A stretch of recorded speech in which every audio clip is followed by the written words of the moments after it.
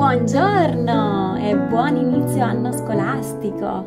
Tutto bene? Come sta andando questo inizio? Sia per uh, le mamme, per il papà, per i nonni, eh, per questi ragazzi che sono un po' assonnati. Stamattina Krishna si è svegliato così, devo andare a scuola. Eh sì, devi andare a scuola, volevi andare a scuola. Eh, la scuola porta anche questa, questa cosa bella di alzarsi così presto. e diceva, eh sì mamma, eh sì. Ragazzi, voi mi chiedete spesso che cosa siano questi rumori che si sentono dentro casa. Beh, noi abitiamo molto molto vicini all'aeroporto, quindi sono gli aerei. Io ormai non li sento manco più, sinceramente ci si fa l'abitudine, all'inizio mi dava un po' fastidio. Adesso ho le finestre aperte, sto facendo il cambio di stagione perché comincia a fare un po' freschetto stamattina, quindi ho già iniziato, quindi se vedete un po' di pelucchi è per questo. Eh, sul letto ho un po' un casino, guardate un po' ecco.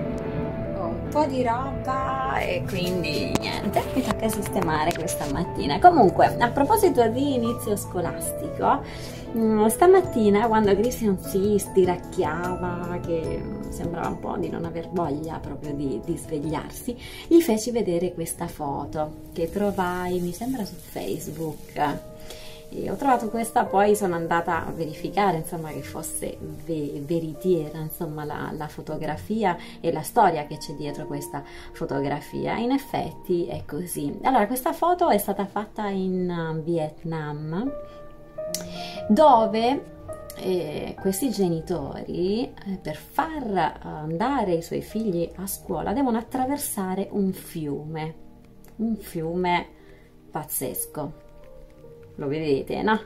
Uh, sporco, pericoloso, insomma, e non oso immaginare eh, come ci si sentano, diciamo, questi, questi genitori nel far attraversare questo fiume ai loro ragazzi. Beh, ma non è che lo attraversano in un modo, non lo so, normale, tipo hanno la barchetta, qualcosa, no avete visto che cosa stanno facendo?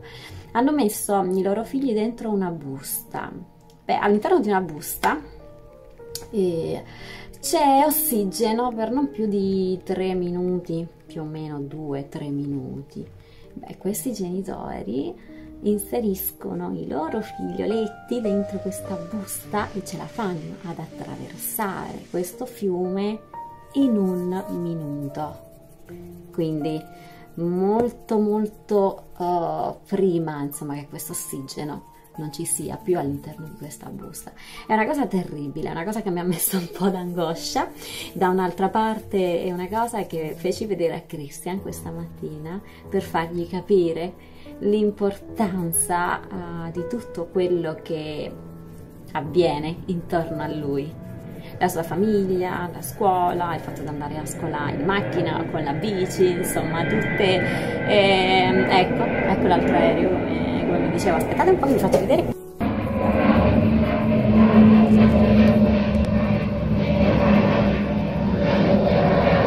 Ora, così come Christian questa mattina ha, ha, analizzato questa fotografia, ha pensato, ha fatto dei paragoni, ha, ha capito mi ha fatto delle domande, faceva eh, e si sporcano, quindi insomma in quel momento inizialmente per lui la cosa più importante era il fatto che si sarebbero sporcati, che si sarebbero bagnati, che mm, come, come facevano diciamo ad uscire dalla busta.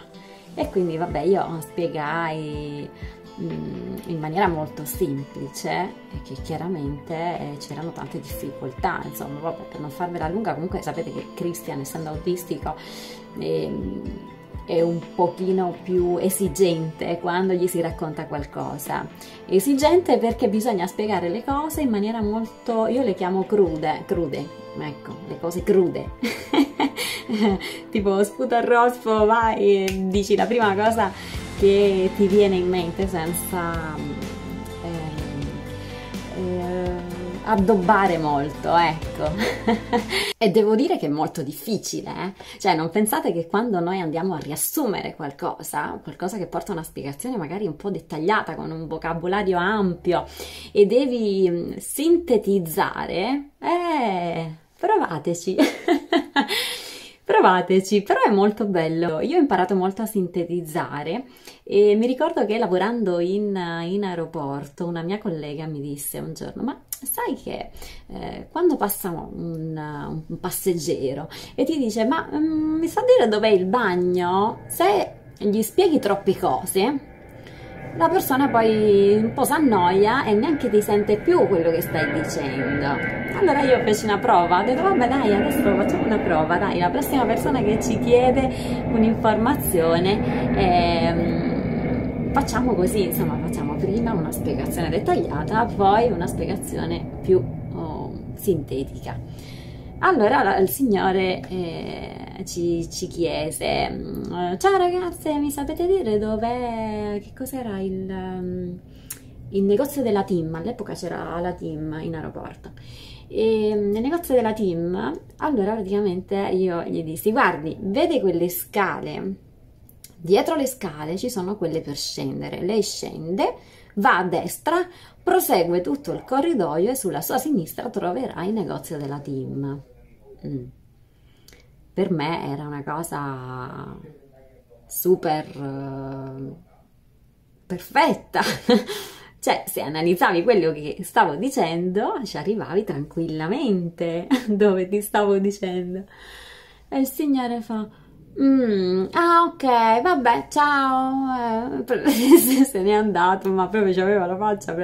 Infatti è arrivato dietro la scala, il signore chiese nuovamente ad un'altra persona, lì ci siamo proprio messi a ridere abbiamo detto, cioè incredibile.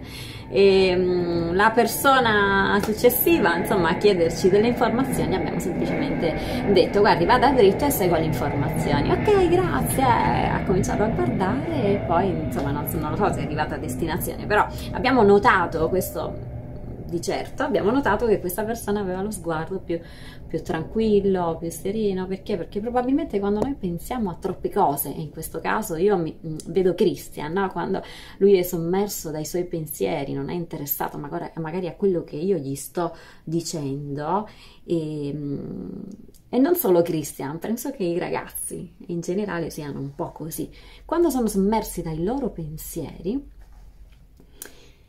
eh, e noi cominciamo a spiegare le cose in maniera troppo dettagliata e io sono molto molto di quel genere, eh? sono una che chiacchiera parecchio, quindi me ne accorgo a volte anche rivedendo i video e anche quando vedo che voi me lo dite, dai ma però sei stato troppo, poverino, gliel'hai detto 50.000 volte, lui invece stava pensando a qualcos'altro, io dico, ma sapete che è vero? Eh, quindi voi mi insegnate tantissimo e, e sto imparando a limare anche un po' queste, queste cose. Non significa che non devo insistere, ok? Quando mh, mm, voglio che Christian capisca qualcosa, proprio perché se noi genitori diciamo, ok, l'obiettivo questa mattinata è di far sì che Christian capisca questo tipo di regole, ok? Nel momento in cui noi chiediamo al nostro figlio, che ne so, eh, metti a posto le scarpe, dal momento in cui diciamo, facciamo questa richiesta,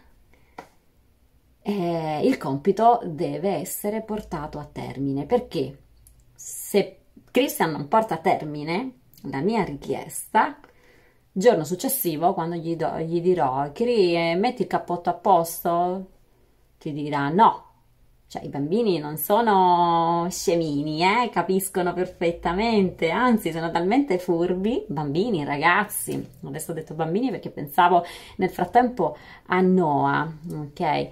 E a Noah che ha iniziato da poco mh, mm, l'asilo nido e stava andando malissimo, diciamo che sta andando un pochino meglio adesso perché lui è molto mammone, ancora lo sto allattando nonostante abbia compiuto l'anno il 2 settembre e anche con Noah, insomma, già anche così piccoli bisogna creargli delle, delle regole, fargli capire che quando mamma dice no, è no.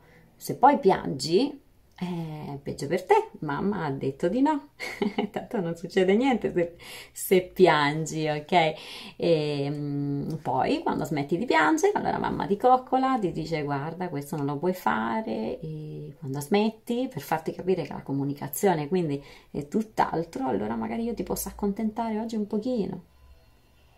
Domani ti dico più tardi, eh, come facevo con Christian quando era piccolo, no? Allora quando arriviamo all'albero, quando arriviamo al centro commerciale, quando, quindi allungare diciamo i tempi sia di attesa che i tempi di attenzione. Proprio per questo oggigiorno io riesco a dire a Christian con tranquillità no, non si può, assolutamente no, perché per, perché non è il momento, perché non si può, punto e basta, e quindi lui accetta questo no come qualcosa, diciamo, di definitivo, senza fare le lagne, senza buttarsi per terra, insomma, e devo dire che prima era molto tragica la situazione, eh? Eh, lui si buttava proprio per terra in mezzo al centro commerciale, e nonostante gli sguardi delle persone, che devo dire che io non me ne sono mai interessata, proprio non mi interessa che la gente guardi, mi interessa la mia vita, mi interessa risolvere il mio problema, il problema di mio figlio, crescere mio figlio nel modo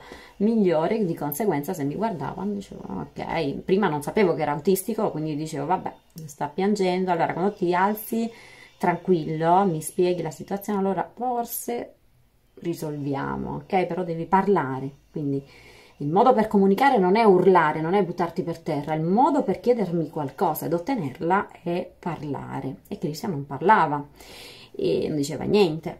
Oppure segnalare, perché poi nel momento in cui scoprì che Christian era autistico, ugualmente pretendevo qualche tipo di comunicazione funzionale ok? Quindi no pianti, non ti butti per terra, no niente di aggressivo, assolutamente no. Mi segnali, impari a fare così col dito, mi prendi la mano, insomma ci sono tanti modi per comunicare. Se ti faccio vedere ti posso aiutare chiaramente, quindi ti faccio vedere il... Um, il telefono, ti faccio vedere che ne so, la foto di un, gelato, la foto di, un, di, una bottiglia d'acqua, che cosa vuoi? Allora lui magari mi, mi, mi segnalava, insomma trovare comu- comunque un modo di comunicazione che sia funzionale. Insomma, avete visto che sono una chiacchierona? Io sono passata dal discorso dei bambini che devono attraversare il fiume e poi mi sono persa in, altri, in, altre conversazioni, però questa cosa mi fa bene anche a rivalutare, diciamo, i miei, i miei comportamenti con Christian, parlare con voi inizialmente senza ricevere risposta perché questo è un monologo, mi trovo davanti alla telecamera, quindi è un monologo, mi aiuta prima di tutto a capire me stessa.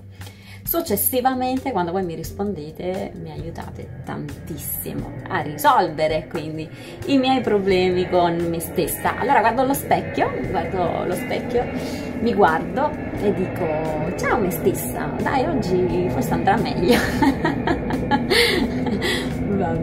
Allora ragazzi, tornando al discorso di prima, dicevo che Christian, guardando questa foto, alla fine uh, ha fatto, uh, ha trovato, diciamo, um, dei modi per capire, ok, mi devo alzare, eh, sono un po' un pigrone, c'è gente che sta peggio di me, adesso mi tiro su perché io sono fortunatissima. Ecco l'idea di questo video in generale insomma è questa. Volevo augurarvi ehm, di persona, ecco perché l'ho fatto ieri attraverso un video di Christian, mm, mentre lo, lo trovavo, l'ho trovato insomma che faceva questa canzone di Alex Britti, l'ha ripetuta all'infinito, cioè praticamente quando l'ho registrato era già tipo la sesta volta che si registrava continuamente, ecco perché lui voleva la perfezione. Ecco, e mi ha fatto molto piacere soprattutto perché ho visto che mh, ogni volta che la ripeteva migliorava suo accento eh, migliorava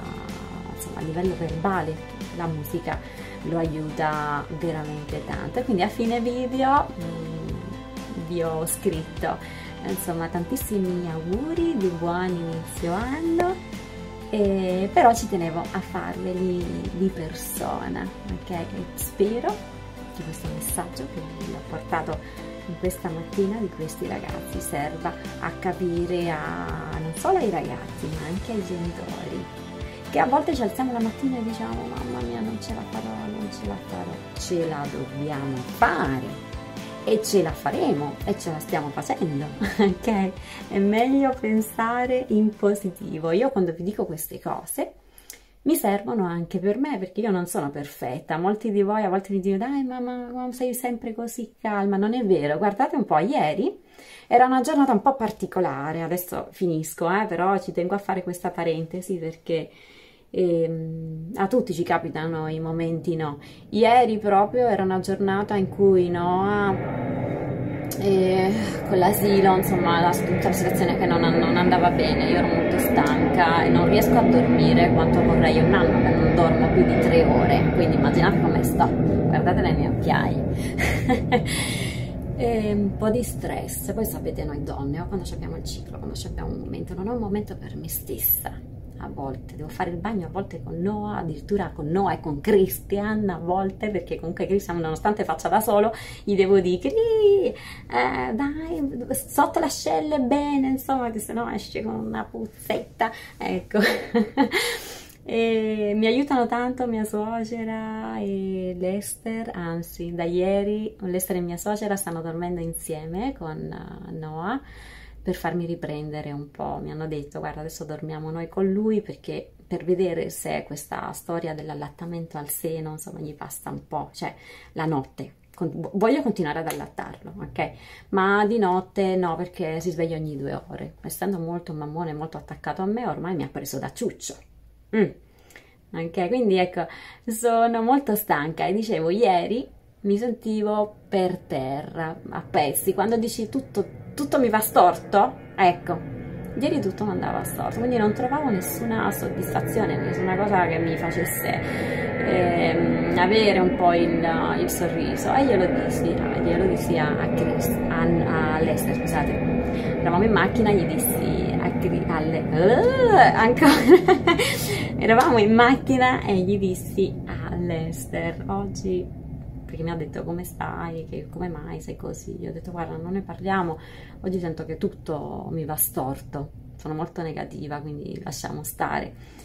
E Lester si è un po' incavolato, invece di io magari volevo che mi facesse le coccole, invece eh, si è un po' incavolato e mi ha detto eh scusa ma tu sei quella che sei tutta positiva davanti alla telecamera e poi, eh, alla telecamera poi fai queste cose ma non ti vergogni? Dice eh, quando fai così non ti sopporto. Cioè proprio mi ha trattato malissimo. Io speravo che facesse il contrario mi ha trattato malissimo però malissimo per modo di dire eh, però forte ecco. Allora io lì ho detto cavolo mm, c'ha ragione. Vabbè pianto un po' sono stata un po' così un po' stressata e poi dopo insomma mi sono tirata su e ho capito il senso di questo spronarmi ok? E, ehm, quindi ecco, anche se ci sono dei giorni no, spero ritroviate in questo inizio anno scolastico, in questo inizio, ogni giorno è un inizio, e troviate serenità, positività, forza sia ai ragazzi, sia alunni, insegnanti, tutti, tutti, tutti. Quindi un bacio grandissimo, io torno a fare il mio dovere prima che arrivano le pesti. Eh che devo fare un po' di cosette. Ci vediamo nei prossimi giorni. E per ultimo, ma non meno importante, anzi, anzi direi importantissimo, grazie ragazzi, siete tantissimi, abbiamo superato i 61.000 iscritti. È bellissimo, cioè siete delle persone meravigliose, sensibili. Siamo una squadra fortissimi, come, come dice Checco. Beh, un bacio grande, vado.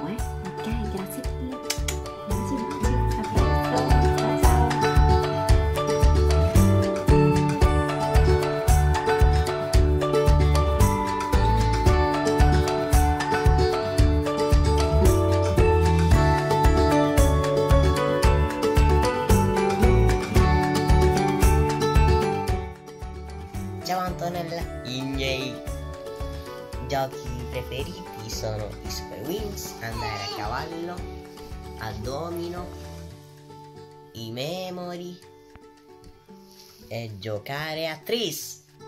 Un bacio. 5 con noi. Infatti.